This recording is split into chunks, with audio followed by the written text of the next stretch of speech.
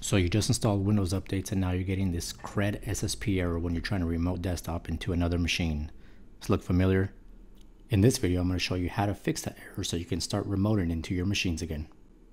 Coming up.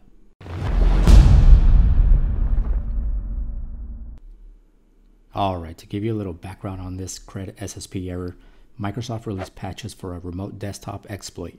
The exploit being that the targets would receive a malicious RTF file and after being opened, the document would then run stage 2 of the exploit and deliver the payload. Once that happens, you're pretty much pwned.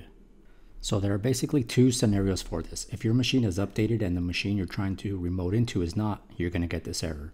The other scenario is if the other machine is updated and your machine is not, the RDP session will still work, but you'll still be exposed to uh, attacks or other vulnerabilities. There are two options for the fix, so I'll start with option one and editing the local group policy. We'll start by clicking the Start button and typing in gpedit.msc.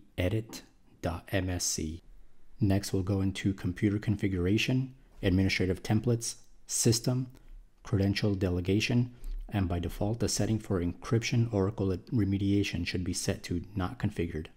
We're going to want to edit that policy, set it to enabled, and then set the protection level to vulnerable. Once we make those changes, we can click OK to this.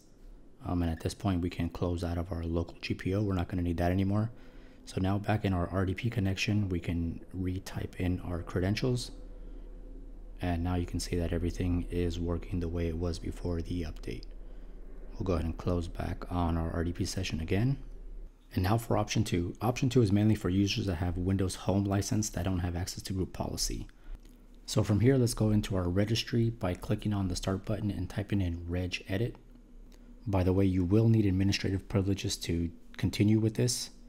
But once you have the regedit open, we'll go to HKey local machine, software, Microsoft, Windows, current version, policies, system, CRED, SSP, and then parameters. So once you're there, you're going to want to double click on allow encryption Oracle and set it to 2. If you don't see this on your computer, you're probably going to need to create the subkey and set it to uh, word, just like I have right here. Um, once you have that set, you should be able to remote into your machines again.